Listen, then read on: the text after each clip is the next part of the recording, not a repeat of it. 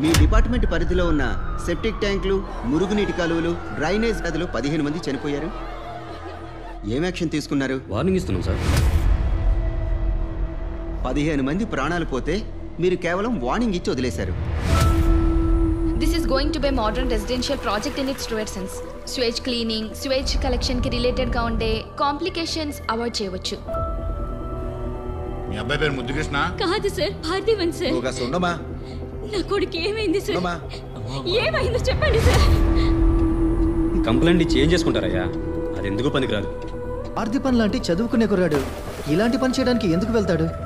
చట్ట ప్రకారం ఇది కుట్ర. ఇంతవరకు ఒక్క కేసు కూడా కోర్టులో నడిచిందే లేదు. ఏయ్ నువ్వు అనుకున్నంత ఈజీ కాదు ఇంద్రా అనుకున్నది జరగకపోతే మనం ఏం చేయగలం? నా కొడుకుని చంపేశారు. నేను నోరు మూసుకుని కూర్చుని ఉండాలా?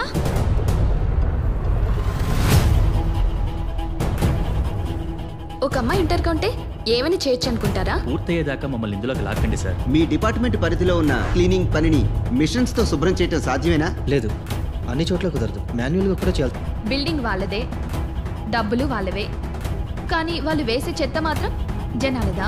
డబ్బొద్దు డబ్బొద్దు. ప్రాణాలకు వెలగట్టలేరు. డబ్బొద్దు డబ్బొద్దు.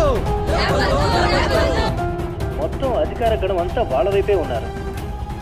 నువ్వు జాగ్రత్తగా ఉండాలి.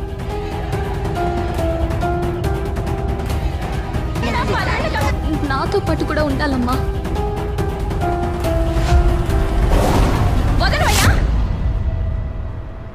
ఈ కేసు గెలవాలంటే సాక్ష్యం బలంగా ఉండాలి. గెలవకపోయినా పర్వాలేదు సార్. నా కొడుకుని బలి తీసుకున్న వాళ్ళు కోర్టుకు వచ్చి తగిన సమాధానం చెప్పాలి సార్.